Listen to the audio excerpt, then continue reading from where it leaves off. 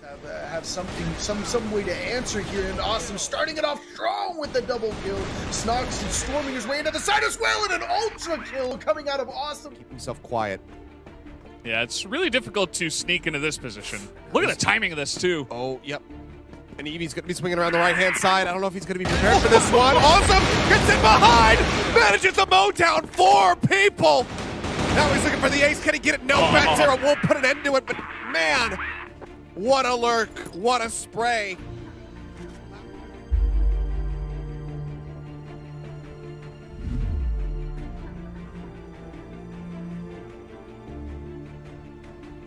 Got three rounds, which is beautiful.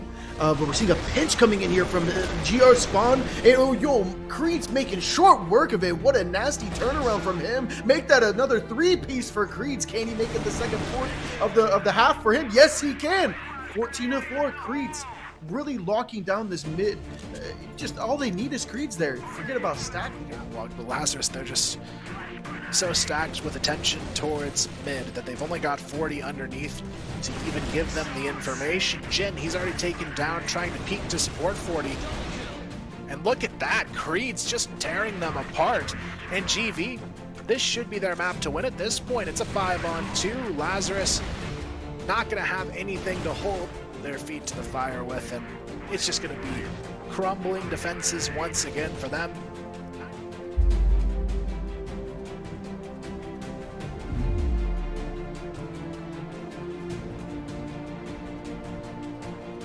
What a nice shot from Terra when it comes to these rounds between these two teams. And perfect positioning from FaZe. What do you expect from this guy?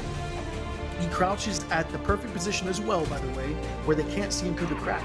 So it's just another smart play by FaZe. Alucard getting the first pick on the Snox. Awesome. He does get one in return, but who's going to expect this many players underneath Catwalk and all over the, the GR side of the map here toward A? It's it's looking like it's working out well for 3BL until FaZe has that answer with the double kill. Now it's all of a sudden down to a much easy, a much easier winnable round for, for GP because they use on money to do. So FaZe takes the round, uh, uh, a, a, a 3K from him.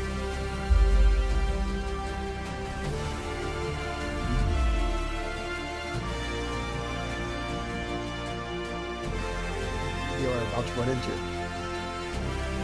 Seven gonna try and lock this one down. He's got to step up and hold on to the bomb side. Grabs two, looking for more. Gets the triple kill, and he's still alive here. Looking really good as he grabs the fourth here. Beautiful round from GV. extremities just creates an opportunity for the BL for Alpha to come out ahead. Now they may not clear this corner.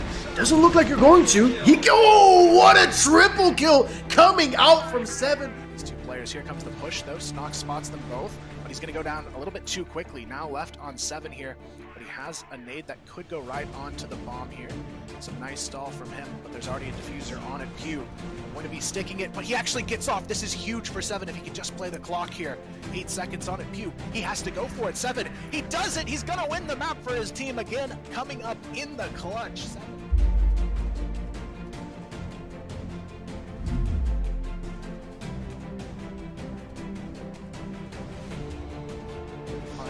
One.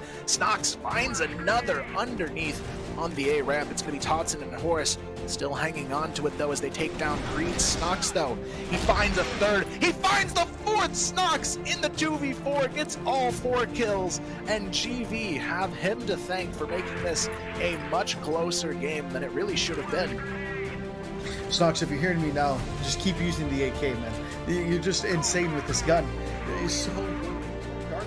Uh, dark Force X factor of this round is going to be Creed's, but here comes the retake.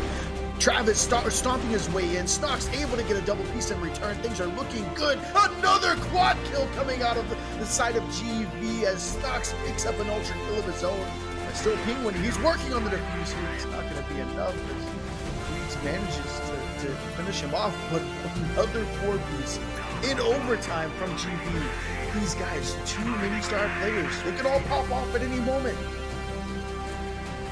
Yeah, it's so scary now for 3BL. They've got to win two just to take it to a golden round. But right now, GV seem like the team that could pull it off here, especially with Snox hitting these kind of shots. It's very dangerous for the side of GV, and it looks like they're going to take fully control of that water. Snox face. He wants to say something about it, but he's not really able to do much here. And so Snox, it's all left up to him, and he's he's honestly playing this perfectly around ring around the rosies here, not able to take out Slayer somehow uh, off the first peek, but he does take him off with the second. Snox playing that really, really well positionally.